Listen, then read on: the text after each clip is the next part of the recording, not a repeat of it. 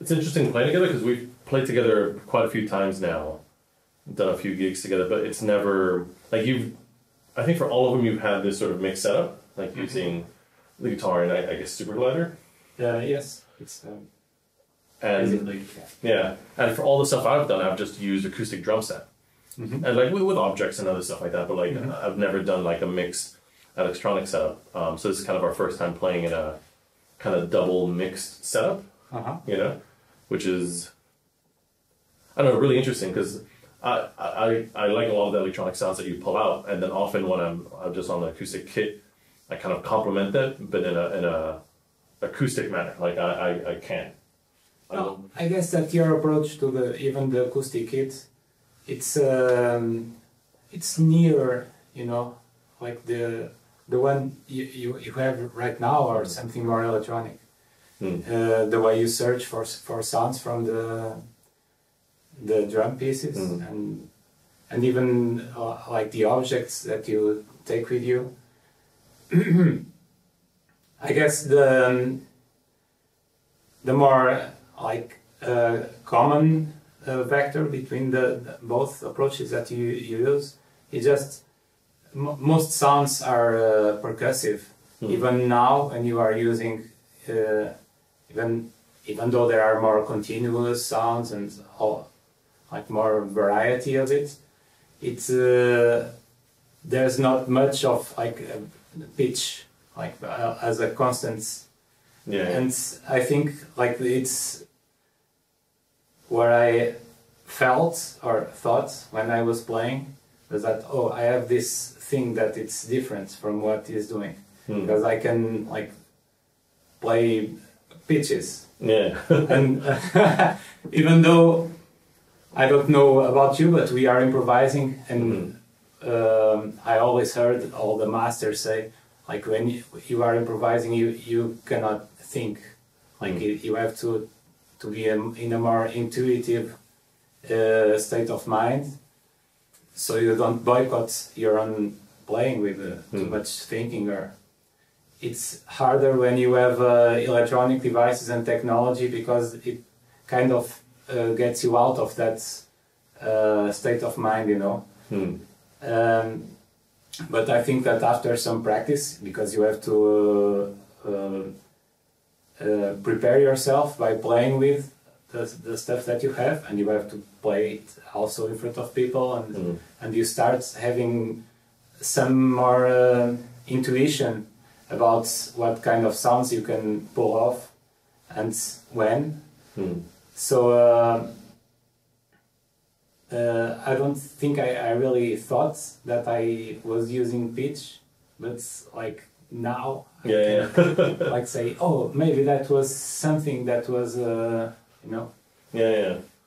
Uh, I've, I've thought it like so. I've, I've done a lot of playing, and I did one of these with a buddy of mine, Sam, who's a sax player. and We've played a lot together, where it's drums and sax, and in that context, the pitch and non-pitch bit is a big part of it because Mhm. with the sax, he has. I mean, he can do a lot of sound, but he has a lot more pitch domain, which is, I guess, similar to what you're describing here. Where, I mean, I do have some of like this stuff that's a bit more oh, pitched. sure, and even the the the electronic sounds and Yeah. the noises, they are pitches, Yeah, they are pitched too. yeah, yeah. But but it doesn't tend to be something that I kind of I, I'm not thinking harmonically or anything Yeah. like that or melodically like they're just they happen to be in the sounds of the other stuff. But you what you mentioned before of, of it still being somewhat percussive is kind of interesting because I I hadn't really explicitly thought about it that way, but I I I guess I, I mean particularly with this setup right now with with the the synth I have purposefully kind of set it up to be somewhat um, percussive. So like I'm triggering stuff with my foot, and that's that's sort of a bass drummy kind of thing. And I have some rhythmic stuff I can do here. Um, but I guess with with electronic stuff, I'm I'm always a little apprehensive of having like you just turn on an on switch or something, and then there's just like Yeah, there's stuff and it just kind of goes on without you attending it. So like with the percussive stuff and because it's so gestural and the way I try to play it is, is a bit more dynamic, I guess I've tried to mirror that in the electronics to a certain extent. So it's Yeah. it's kind of doing in this case it's audio analysis stuff, so it's following me more closely. But um, yeah, it's a cool idea that It's also, I don't know what you think about this, but uh, like with technology, you can either work in a more high level, like what you said, like you press a button and somehow either the computer makes a sound or it's uh, like listening to you or with some parameters. hmm, Uh, or you can go really low level and like you are in control of every little uh, nuggets of sound or uh, anything. And uh, maybe I think that your approach it actually combines both because with um, you you can you, you are obviously you are controlling in the, with, a very fine grain when sounds come out, right? Mhm.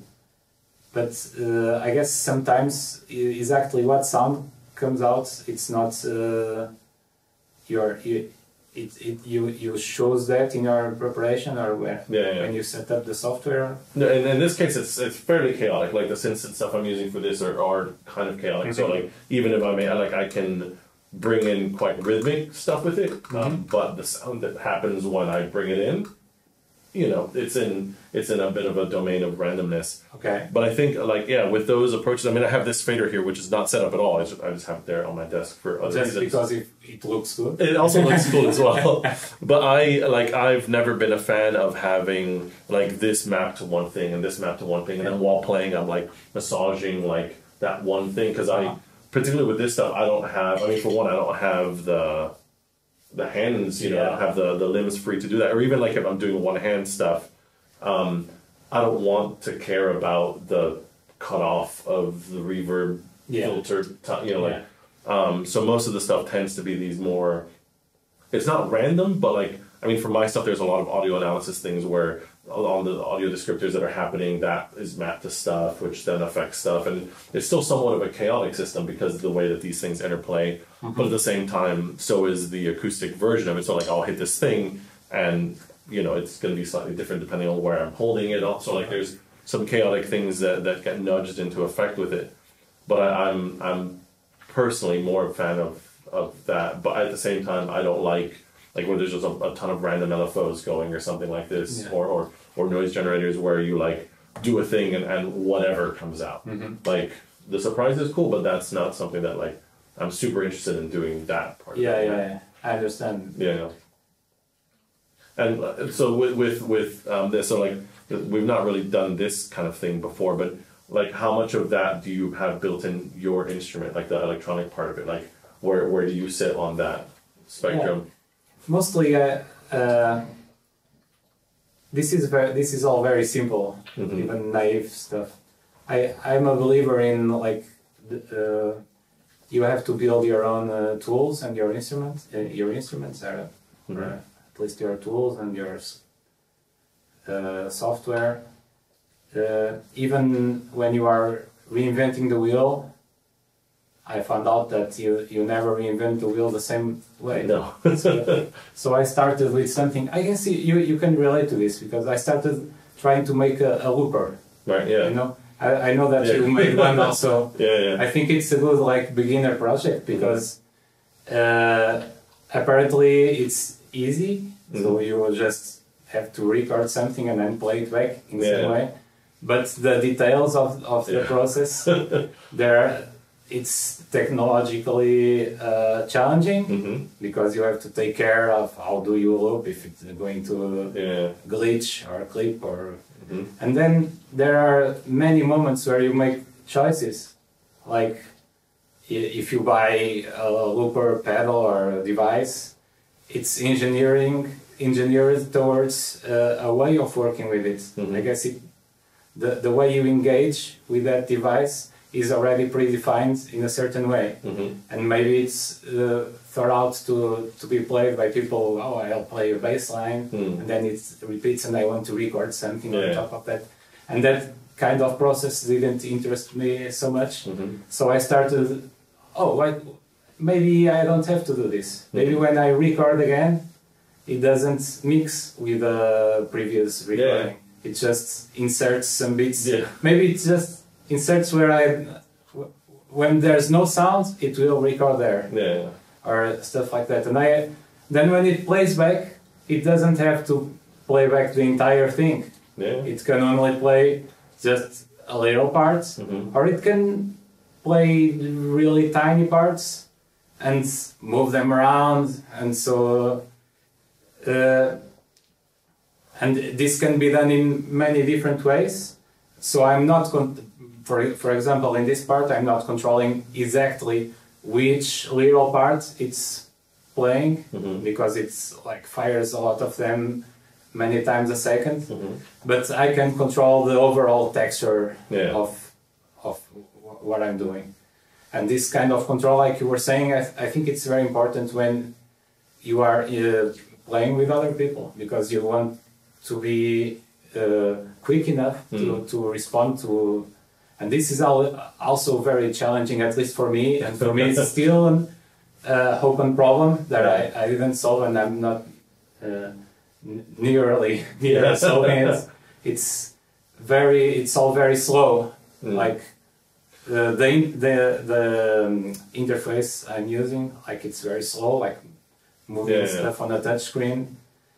Or even if I have faders and stuff, it's it's not as fast as having a, an acoustic instrument and Yeah, like you have your saxophone and you blow into the saxophone. Yeah, yeah. It's uh, intimately connected to uh, the your will and your uh, musical imagination Mm. and here there's a, a disconnect Yeah. and in, in terms of the time to respond to other people Mhm. but for me it's very important to have at, at least um, a good control of you know, like the general gesture or texture or wherever even though the minute details Mhm. uh, that can be either be chaotic or uh, because it doesn't m- matter that much anyway Yeah. Yeah. That's great.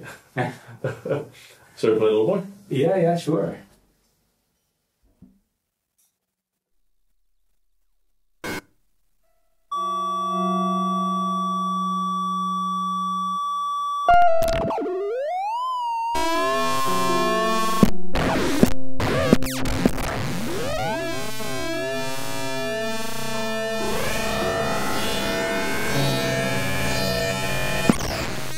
Um...